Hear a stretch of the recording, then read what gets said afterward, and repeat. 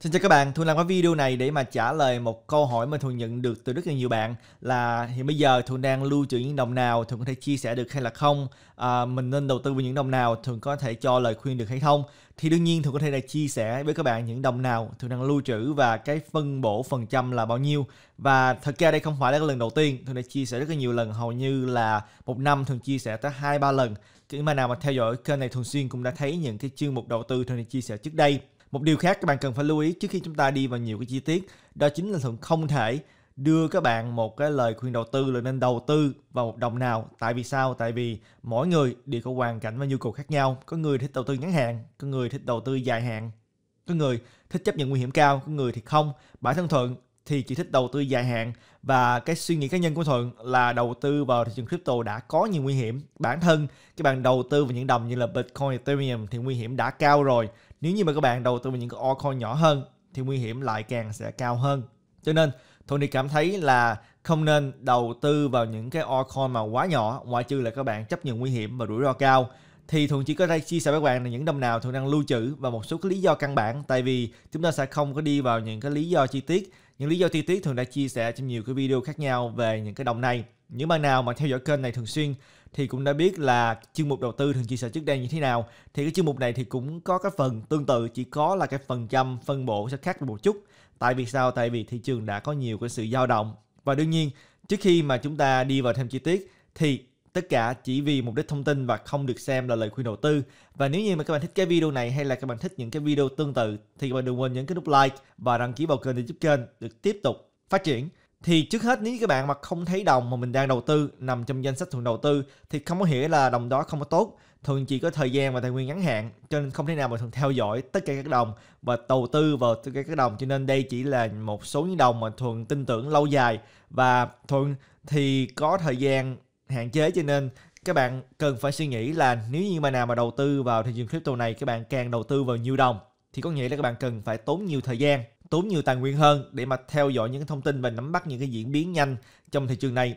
Cho nên nếu các bạn không có cái thời gian thì các bạn cần nên phải suy nghĩ là hạn chế đầu tư vào những đồng nào mà mình thực sự hiểu và có thể theo dõi thường xuyên được. Tại vì cái sự thay đổi thị trường này rất là nhanh. Các bạn theo dõi càng nhiều đồng thì sẽ càng tốn nhiều thời gian và công sức.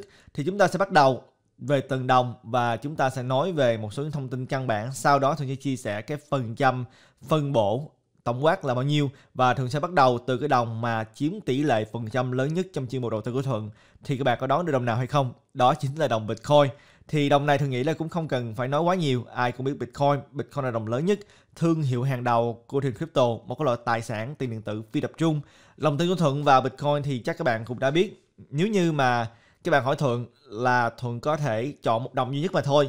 Đầu tư vào một số lượng lớn, sau đó Thuận sẽ đi ngủ quên trong vòng 5 năm. Khi là 5 năm này Thuận sẽ không theo đụng tới cái số tiền đó, thì Thuận sẽ đầu tư vào đồng nào. Thì ở thời điểm bây giờ, câu trả lời chỉ là Bitcoin mà thôi. Tại vì thì bây giờ, nếu như nói tới cái tương lai dài hạn dựa theo gì mà Thuận thấy ngày hôm nay thì chỉ có là Bitcoin là chắc chắn. Thậm chí Ethereum thì cũng không có tin tưởng, mà nếu như phải bỏ cái số tiền mà không được đụng tới trong vòng 5 năm, cho nên Bitcoin vẫn là lựa chọn hàng đầu của Thuận, vẫn là cái phần chiếm tỷ lệ phần trăm nhiều nhất ở thời điểm hiện bây giờ.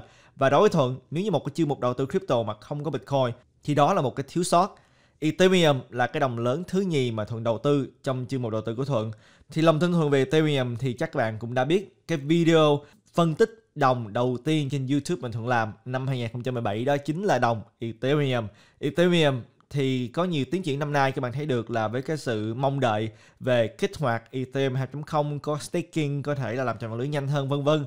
Thì cộng đồng Ethereum, các bạn thấy được là trên căn bản rất là mạnh. Có thể nói là trong số lượng nền tảng bây giờ là không một nền tảng nào mà có cộng đồng mạnh như là Ethereum có hệ sinh thái mạnh như là Ethereum. Tuy nhiên nhiều người nói là Ethereum chậm, nhưng mà các bạn thấy được là có biết bao nhiêu là những cái ứng dụng phi tập trung được gây dựng trên mạng lưới của Ethereum.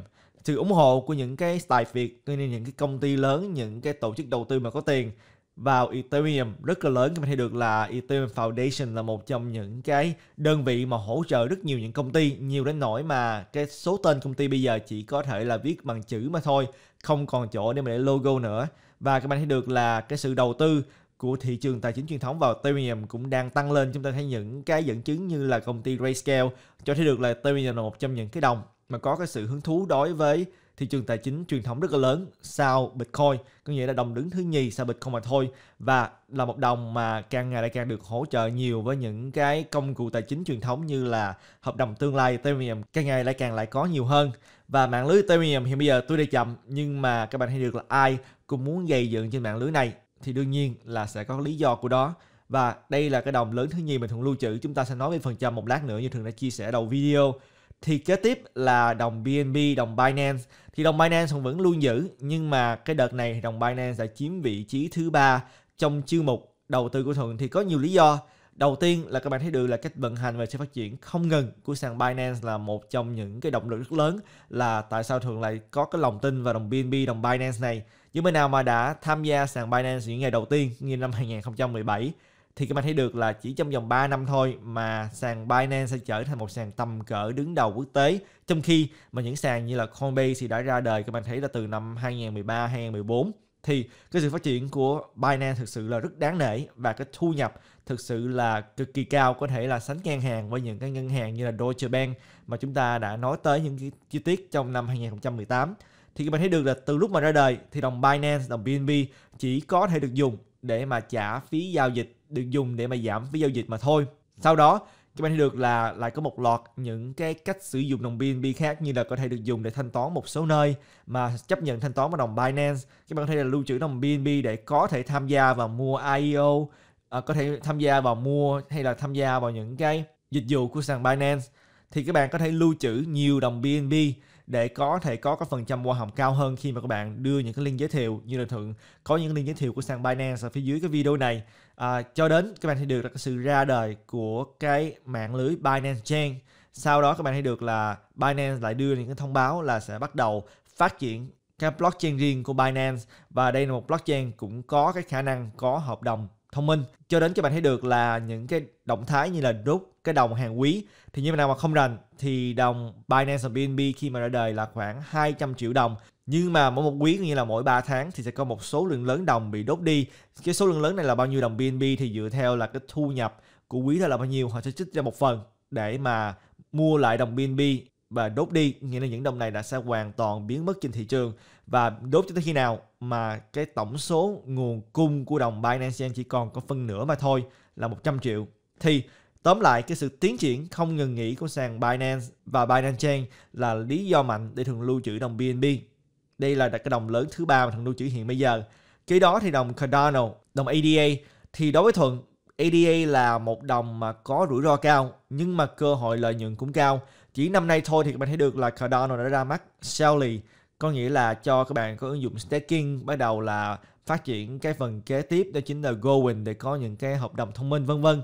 Và Cardano sẽ tiếp tục tiến tới. Đây là một cái đồng mà sẽ cạnh tranh với lại Ethereum. Thì trước đây chúng ta có những cái mạng lưới mà hô hào là sẽ lật đổ Ethereum như là EOS, Neotron nhưng mà khi mà ra thực chiến thì các bạn thấy được là không thể chạm đến cái vương vị của Ethereum. Ethereum vẫn là cái đồng đứng thứ nhì hiện bây giờ vẫn là nền tảng đứng đầu tiên trên thị trường crypto này và vẫn là một đồng mà được cái sự ủng hộ cao nhất. Nhưng mà Cardano thì vẫn chưa ra thực chiến tại vì chúng ta vẫn chờ đợi những cái hợp đồng thông minh của Cardano sẽ như thế nào, có thực sự là thu hút được nhiều nhà phát triển chạy qua mạng lưới của Cardano hay là không. Cho nên nhiều người có kỳ vọng rất là cao. Thuận thì cũng là một trong những người mà có cái sự kỳ vọng đó coi như là đây là một cái bảo hiểm lỡ như mà Cardano thật sự là có thể là tiến tới và thách thức Ethereum được. Thì ít ra Thuận cũng lưu trữ một số Litecoin. Thì thực ra Thuận lưu trữ một số Litecoin đây à, là một cái dư âm của những năm trước. Có nghĩa là thường nó mua nhiều năm trước đây và lưu trữ cho tới bây giờ chưa bán như đồng Litecoin này. Thì thường mua crypto bắt đầu trên sàn Coinbase và trước đây những năm như là 2016, 2017 thì thật ra các bạn chỉ có cái sự lựa chọn là mua Bitcoin, Litecoin và Ethereum cho nên khi thuộc chung bình giá thì cũng mua một phần Litecoin và từ đó đã có một số Litecoin cho tới mãi ngày hôm nay. Hiện bây giờ thì một điều các bạn cần phải biết là Thuận không còn chung bình giá vào đồng Litecoin nữa. Tại vì sao? Tại vì Thuận không thấy cái sự phát triển như là mong muốn của đồng Litecoin nhưng mà không có nghĩa là Litecoin không còn cơ hội để mà chở mình. Trên căn bản thì đồng Litecoin đã ra đời rất là lâu và Charlie Lee vẫn là một người đứng đầu của mạng lưới Litecoin và là một người mà cũng có nhiều tiếng tăm lâu năm trong thị trường này và cộng đồng Litecoin thực ra cũng rất là mạnh. Nhưng mà cái vấn đề là câu chuyện của Litecoin trước đây thì nói là nếu như Bitcoin là vàng điện tử thì Litecoin là bạc điện tử. Nếu như Bitcoin chậm, không thể được sử dụng để mà mua những cái dịch vụ hàng hóa hàng ngày thì Litecoin sẽ là một đồng mà có thể làm được điều đó rẻ hơn và nhanh hơn. Và các bạn thấy được là khi mà so sánh cái tốc độ trên mạng lưới thì Litecoin block nó sẽ nhanh hơn gấp 4 lần mỗi một lốc và cái số lượng đồng Litecoin cũng gấp 4 lần của Bitcoin. Nhưng mà cái câu chuyện này hầu như nó đã từ từ phai mờ đi và nếu như mà Litecoin thực sự muốn đứng vững trên thị trường này, Bây giờ các bạn thấy được là đã có rất nhiều đồng đang cạnh tranh với đời đồng Litecoin trong một lĩnh vực là thanh toán và thực sự mà nói là có nhiều đồng có tiềm năng, có thể lật đổ được Litecoin nếu như mà chúng ta chỉ nói riêng về cái lĩnh vực thanh toán mà thôi. Cái câu chuyện mà nghĩ mà Litecoin cần phải tiếp tục PR cho mạnh lên đó chính là Litecoin cũng giống như là Bitcoin ở một cái chỗ đó chính là Litecoin cũng là một tài sản. Nếu như Bitcoin là vàng thì Litecoin là bạc. Nếu các bạn lưu trữ vàng bạc thì các bạn nên lưu trữ Bitcoin và Litecoin. Đây mới là cái câu chuyện mà thượng muốn Charlie Lee và đội của Litecoin tiếp tục PR cho mạnh lên chứ không phải là lại tiếp tục đưa ra những cái thông tin như là bây giờ là có Mimble Wimble trên Litecoin. Litecoin sẽ tiếp tục có nhiều cái cộng tác để mà thanh toán sử dụng Litecoin. Những điều đó thành cảm thấy là không có cái tác dụng bằng là Litecoin đẩy ra một thông tin mạnh đó chính là một tài sản lưu trữ lâu dài thì mà lưu trữ Bitcoin và Litecoin. Đây là điều mà Thuận muốn chia sẻ các bạn về Litecoin. Và kế đó chính là XRP, đồng Ripple. Thì những bạn nào mà đã theo dõi Thuận từ video này thì cũng đã biết là bản thân Thuận thì không thích XRP. Và nếu chúng ta tính theo vốn hóa thì XRP bây giờ là đứng hàng thứ ba nếu chúng ta không tính đồng Tether, tại vì đồng Tether là một cái đồng ổn định, thì XRP không tính Tether đứng hàng thứ ba thì đồng XRP là một đồng mà nhắm vào ngành ngân hàng thì thuận nói là thuận không thích lắm thì tại sao là lưu trữ tại vì có một cái lý do thì các bạn thấy được ít ra bây giờ đây cũng là một cái đồng lớn và trong vòng thời gian 3 năm qua thì XRP cũng đạt được một số những thành công. Tuy nhiên thường cảm thấy những thành công này vẫn chưa có đủ. Nhưng mà thường đầu tư một ít và xem như đây là một loại bảo hiểm. Tại vì những cái đồng mà chúng ta đã mới vừa nói tới như là Litecoin, Bitcoin, Cardano, Ethereum vân vân những đồng này là không có nhắm vào ngành ngân hàng nhưng mà XRP là một đồng nhắm vào ngành ngân hàng. Lỡ như mà XRP thành công thì ít nhất thường cũng lưu trữ một số coi như đây là một cái loại bảo hiểm. Nếu như mà chuyển tiền ngân hàng mới thực sự là mục đích cần thiết của crypto thì ít ra trong tay thường cũng nắm giữ một số đồng XRP. Thì các bạn thấy được là đây là những cái đồng lớn mà thường lưu trữ. Còn một số những đồng nhỏ hơn chúng ta sẽ không có liệt kê ở đây tại vì cái phần trăm rất là thấp. Những đồng nhỏ này cộng lại thì phần trăm không tới là một phần trăm trong chuyên mục đầu tư của thuần những đồng như là thuần cũng chia sẻ với bạn trước đây như là đồng uh, Uniswap vân vân. Những đồng này những cái đồng mà thường đang thử nghiệm cho nên không thể coi như là một cái phần trong chương mục tư của thuần được tại vì thuần có thể là bán những đồng này bất cứ lúc nào. Nhưng mà những đồng mà thuần mới vừa nêu ra Bitcoin, Ethereum, Cardano, Binance, Litecoin, XRP là những đồng mà thuận có lòng tin lưu trữ lâu dài. Bây giờ chúng ta hãy nói tới cái phần trăm phân phối của những đồng này trong chương mục đầu tư của Thuận thì nhiều nhất đó chính là Bitcoin 59,1%, kế đó đó chính là Ethereum 29,2%, đứng hàng thứ ba đó chính là đồng Binance Coin đồng BNB 6,3%, Đứng hàng thứ tư đó chính là Cardano 1,9%. Đứng hàng thứ năm là Litecoin 1,7% và thứ sáu đó chính là XRP 1% và cái phần nhỏ này màu xanh đậm này, đây chính là cái phần mà thường nói tới là những cái đồng nhỏ hợp lại, thì chỉ là một phần rất nhỏ trong chương trình đầu tư, cho chúng ta sẽ không nói tới những cái đồng này và các bạn thấy được là cái điều khác biệt lớn nhất giữa cái phiên bản này với cái phiên bản mà thường chia sẻ trước đây, đầu tiên hết đó chính là cái phần trăm của Ethereum đã lớn hơn Tại vì sao? Tại vì Ethereum thì có cái sự tăng trưởng mạnh trong thời gian gần đây và thường thì vẫn tiếp tục trung bình giá vào đồng Bitcoin và Ethereum. Và một điều khác nữa các bạn thấy được là đồng Binance Coin đã có cái sự tăng trưởng và thì bây giờ là chiếm tỷ lệ là 6,3%. Trước đây thì cái tỷ lệ nhỏ hơn. Thì đây những cái thông tin mình thường muốn chia sẻ với các bạn liên quan đến danh mục đầu tư của bản thân của mình. Các bạn có thể chia sẻ danh mục đầu tư của mình ở phía dưới hay là không? Các bạn thích những đồng nào? Hãy comment ở phía dưới. Và thường hy vọng là các bạn nhận được nhiều giá trị trong cái video này nếu như mà các bạn chưa theo dõi Thuần Capital trên các mạng xã hội thì các bạn có thể theo dõi bằng cách là bấm vào cái link ở phía dưới video này tìm thấy những cái thông tin như là Facebook, Twitter, Telegram hay là bạn là một trader thì trước khi mà bạn tham gia một cái sàn giao dịch nào thì các bạn hãy bấm vào cái link ở phía dưới video này để tìm thấy những cái ưu đãi dành riêng cho cộng đồng của Thuận Capital như là tham gia vào sàn Margin FX.